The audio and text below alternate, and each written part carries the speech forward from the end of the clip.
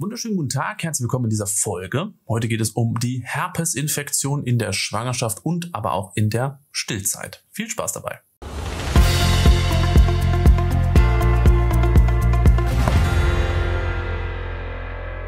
Ja, die Herpesinfektion. Viele kennen es um den Mundbereich rum, so schmerzhafte kleine Bläschen, äußerst unangenehm kosmetisch nicht der Hit und vor allen Dingen, wenn man dann auch noch schwanger ist oder in der Stillzeit sich befindet, macht es natürlich auch unheimlich viele Sorgen, denn man hat natürlich Angst, irgendwie sein Kind infizieren zu können.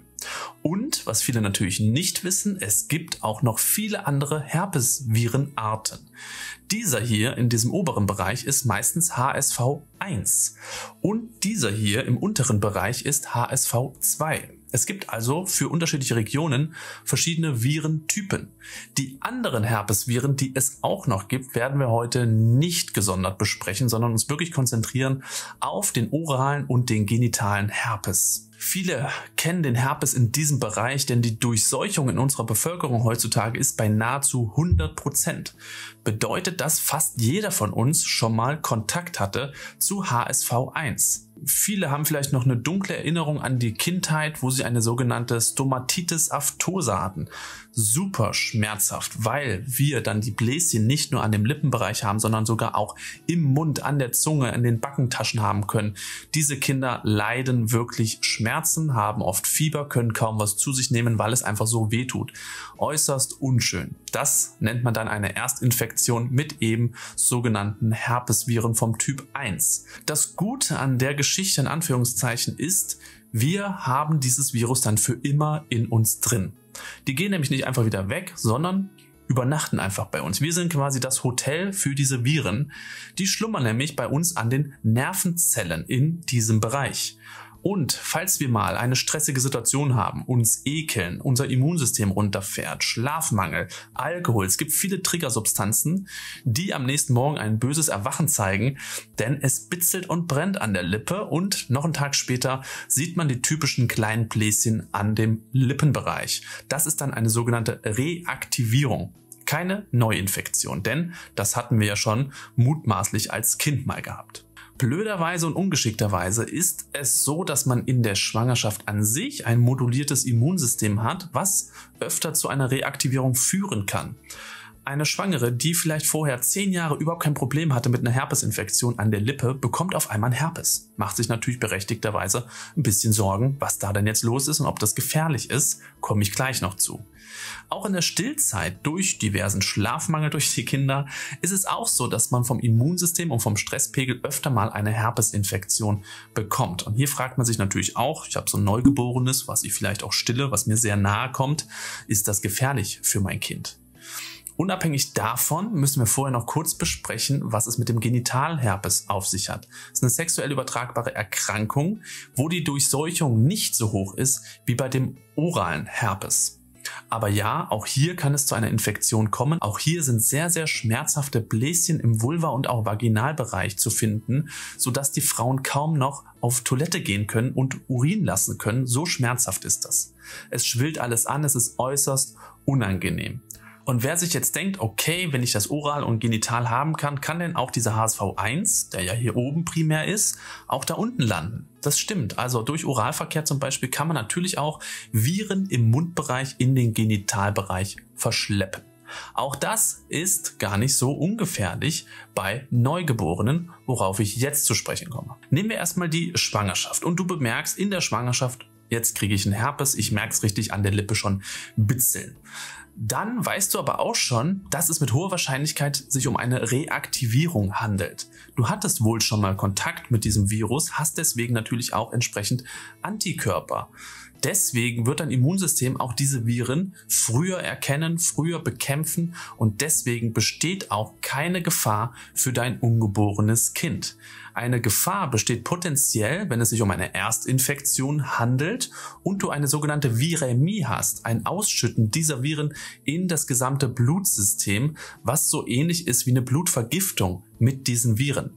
Passiert äußerst, äußerst selten, außer man hat eine angeborene Immunschwäche oder nimmt Medikamente, die das Immunsystem so stark runterfahren, dass sich diese Viren wirklich über das gesamte System ausbreiten können. Denn das gesamte System beinhaltet dann natürlich auch Plazenta, Nabelschnur, ungeborenes Kind. Und das Kind hat, wenn es sich um eine Erstinfektion handelt, auch noch nicht die Antikörper von der Mama abbekommen, die diese Viren jetzt bekämpfen könnten. Also eine Erstinfektion und auch eine Viremie wären potenzielle Faktoren, die gefährlich wären für das Ungeborene, was aber in heutiger Gesellschaft unglaublich selten vorkommt, weil wir alle schon Kontakt mit HSV1 hatten. 85 Prozent der Ansteckungen der Kinder passieren nämlich bei der Geburt.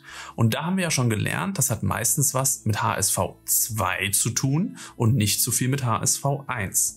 Und hier ist es auch wichtig, wo befindest du dich in der Schwangerschaft? Wenn du dich nämlich kurz vor Geburt befindest und hast jetzt gerade eine floride, aufflammende Herpes genitalis, so heißt das Ganze im Genitalbereich, Infektion, dann kann es sogar nötig sein, dass ein Kaiserschnitt gemacht werden soll.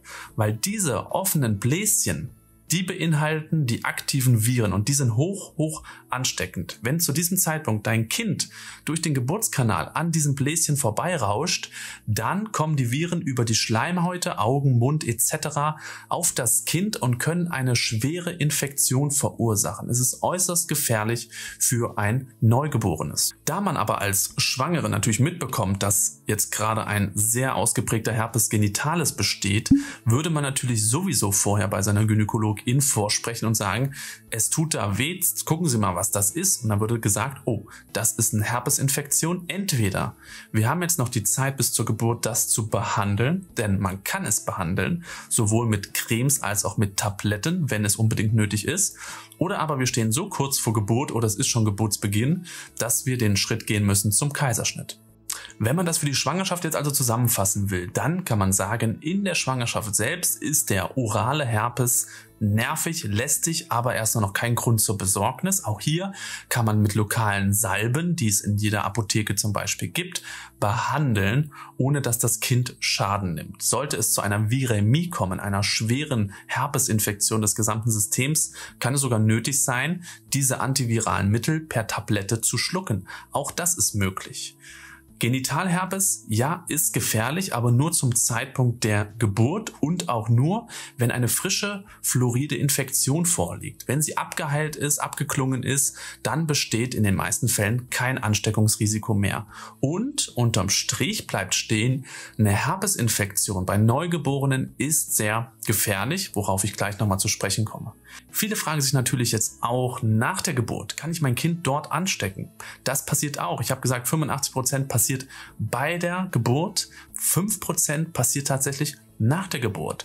Auch hier ist eben der orale Herpes wieder ein großer Faktor. Denn wir haben schon erzählt, die Bläschen, die enthalten diese aktiven Viren, die sind gefährlich. Und wenn du jetzt also dein Kind stillst oder auch mal ein Küsschen geben willst, hast dir aber offene Herpesbläschen, dann kannst du dein Kind anstecken. Und deswegen ist es unbedingt zu raten, da Abstand zu halten und Mundschutz zu tragen, wenn man eine fluoride aktive Herpesinfektion auch im Mundbereich hat, um sein Kind eben nicht anzustecken. Ja, still mit Mundschutz ist ein bisschen umständlich, ist blöd, aber ganz ehrlich, diese paar Tage haltet ihr aus, um euer Kind da einfach zu schützen. Diese neugeborenen Kinder haben noch nicht das Immunsystem, was wir Erwachsene haben.